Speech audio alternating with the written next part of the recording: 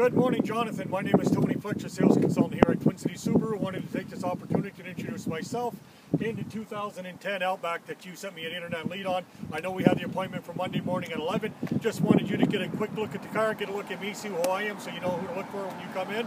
I'm looking forward to seeing you Monday morning, Jonathan. I'll make this the best car buying experience you've had yet. Thank you very much. Have a great weekend. I'll see you Monday.